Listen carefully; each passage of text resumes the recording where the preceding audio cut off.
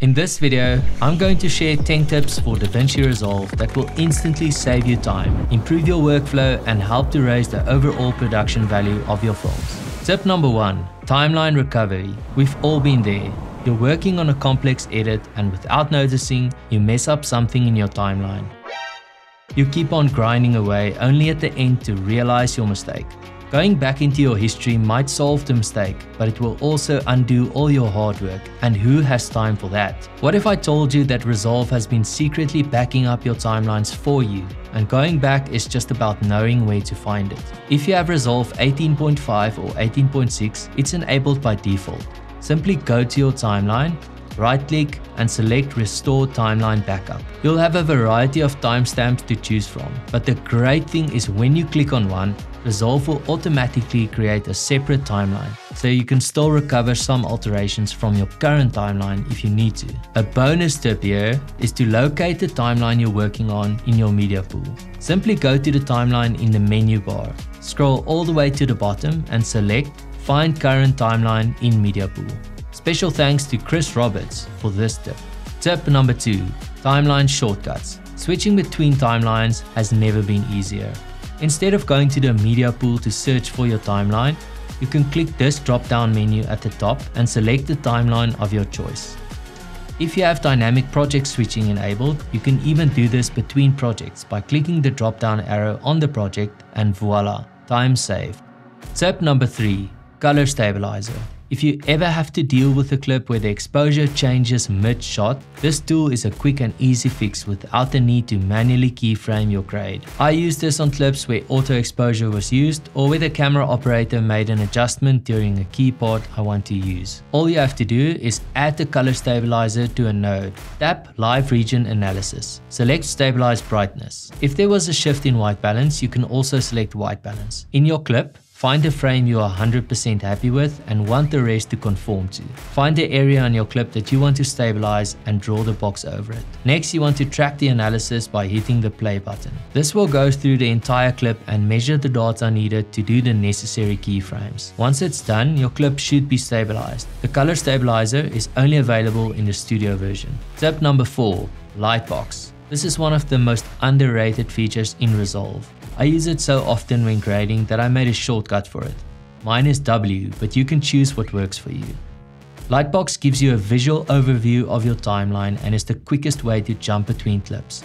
When you click on a clip and exit, that clip will be selected for grading. You can choose how much real estate you want to see. For example, if you zoom in all the way, it's easier to spot frames that do not match. Zooming out a bit will give you an overall picture of how color flows in your project. When you have the frame comparison feature turned on, you can also select multiple clips this way and going back will give you a comparison between the frames selected. If you've gotten this far, I want to thank you for watching.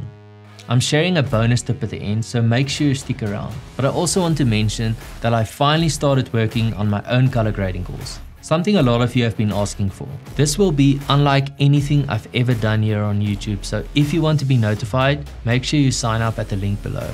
Tip number 5. Smart Reframe.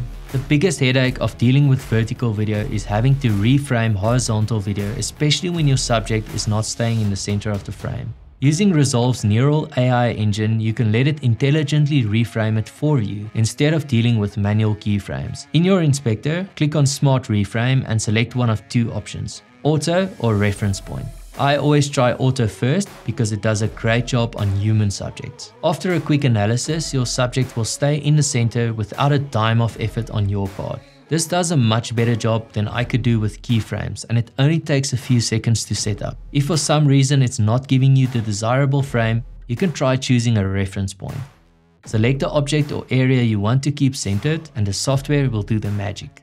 Since it uses the Neural AI engine, this feature is only available in the studio version. Tip number 6. Timeline colors. If you're like me, you like to color code your clips for easy referencing in the timeline. But what if you want to apply batch changes or move all clips with a specific color?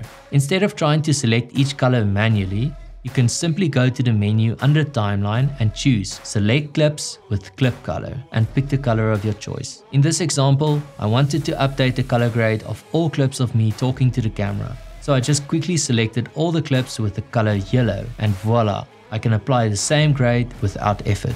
Tip number 7. Batch audio fades. Using fades and crossfades on your audio clips is a necessary step to remove pop and breath sounds between cuts. Adding fades to new clips and transitions to adjacent clips makes your audio flow better, but this is a time consuming process. Instead of applying your crossfades individually, you can batch apply them to an entire timeline in an instant. In the Fairlight page, go to the Fairlight menu and select batch fade settings. Select fade in, crossfade and fade out. Uncheck the override existing boxes. For fade in, you want to keep it at linear and select 3 frames. For fade out, choose exponential fade and also 3 frames. For crossfades, keep 2 frames and make sure it's on equal power.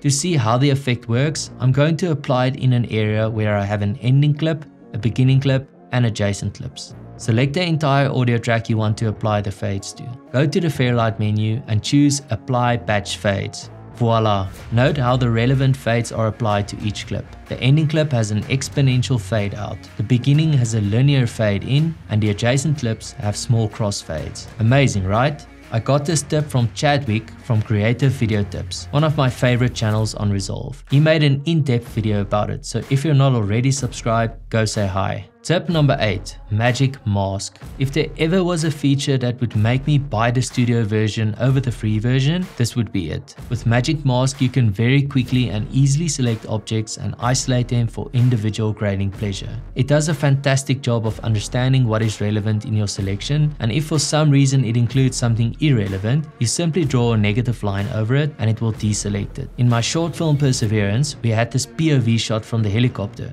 and the hazy light made the environment look flat. A quick fix here is using the magic mask to isolate the inside of the helicopter, inverting the mask to the outside and then making changes to the outside. Tracking the movement is as simple as pressing the play button forward and voila, the background is isolated perfectly without any form of halo or feathering.